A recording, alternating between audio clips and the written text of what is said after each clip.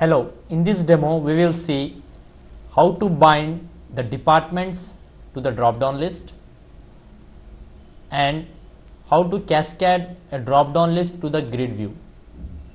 Anyway, we saw these things by directly configuring the data source to the SQL server. But now we will see all these things by writing ADO.NET code. So I have my drop down list DDL department and grid view employee. First of all, let me populate drop down list with all the department names as item and values as ID. So, the selected item would be department name and selected value would be ID. So, how do I do that? I will just go to the code in page load I need to write the code. Now, I will simply copy the code that I did in my last video or in my earlier video and I will paste it here.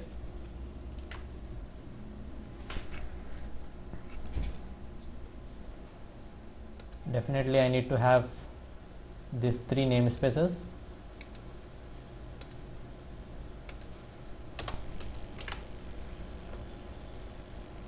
okay now this is my database organization db and i have department table and employee table.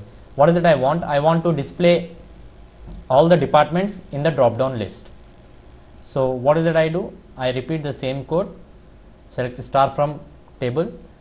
After reading the data from the data reader instead of me assigning these things to grid view i need to assign this to the drop down list i will say ddl drop down list department dot data source equals to dr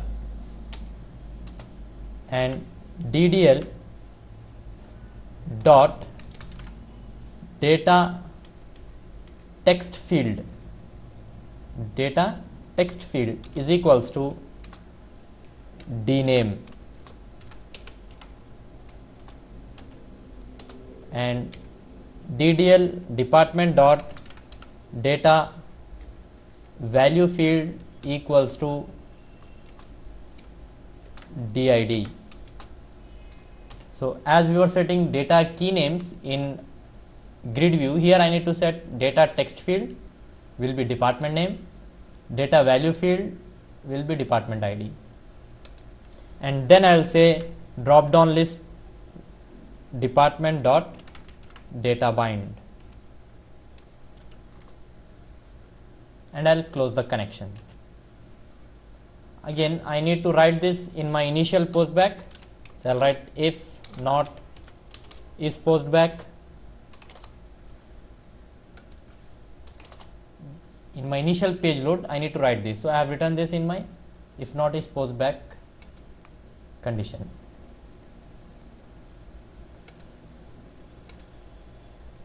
I will set this as startup page and execute this. Now, this should populate my drop down list with all the departments. So, here I got the drop down list with all the departments with me. Now, what I want is whenever I select a department, this grid view should display all the employees. So, what is that I should do? First of all, I need to go to the drop down list. I will say enable auto post back and I will double click the drop down list. In the selected index change event, I need to write the code. So, I need to write the same code I will simply copy this I will paste it here now instead of select star from table department I will say select star from table employee where I want to display only those employees whose department ID I am getting from the drop down list where department ID equals to at did and here I will say cmd dot parameters dot add with value and my parameter is at did and its value is drop down list department dot selected value dot to string. That's it. Now my data reader source I'll give it to grid view so my grid view is grd grid view employee dot data source equals to dr grid view employee dot data key names equals to I can give same primary key of employee table. The primary key of employee table is emp id actually it should be an array of string. So I'll say new string array. Finally I'll say grid view employee dot data bind. That's it. It should work. Execute this. Now I'll select a department QT. So my grid view got filled with employees of department QT. If I select development I got the employees of development. If I select admin I got the employees of admin. So my drop down list cascadination with grid view by writing ADO.NET code is done. But I'll enhance it a little. In drop down list I want the default item select. How do I do that? I'll go to the drop down list. Edit item. Add.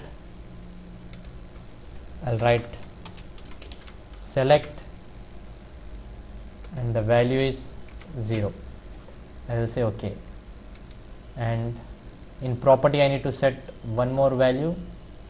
That is append data bound items equals to true. Save this and execute it. So this is very simple. I got select and all my departments. So I'll select development. I got the employees of development. If I come back to select there is no employee. Now admin I got employees of admin. So that's it. This is very simple. I haven't configured my grid view or drop down list directly with the help of smart tag. Instead what is it I have done? I have coded everything with the help of ADO.NET coding. So I hope you might have understood this. Thank you very much